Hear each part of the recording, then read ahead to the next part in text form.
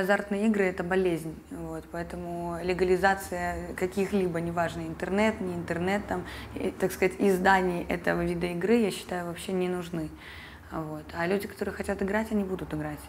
В России в последнее время и так все запретили, все позакрывали и а, подбираются потихоньку к интернету. Я считаю, что покер в интернете нужно легализовать, поскольку э, если его запретить, все равно будут какие-то а, подпольные сайты, все равно народ будет играть, поэтому, поскольку это уже становится частью массовой культуры, я считаю, что в интернете его нужно легализовать, разрешить.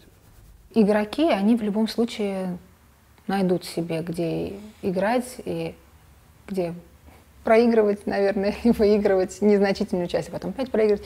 А, запрещать не надо. Я, я думаю, что запрещать не надо. Пусть люди играют, если хотят. Это если в рамках закона никто ничего не, не нарушил, то это ради бога.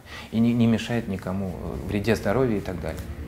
Мне кажется, что интернет-покер, он же существует уже, и э, в России, несмотря на запрет э, всей этой истории, в него играют, да, но сервера находятся просто не в нашей стране, и мне кажется, все происходит успешно. Я сам видел, как люди играют в это, поэтому я даже не знаю. Мне кажется, что если будет российский аналог, это будет просто удобнее людям этим заниматься, поэтому почему бы нет? По-моему, ничего страшного, если люди просто играют, и от этого не зависит их э, жизнь и жизнь их э, близких людей.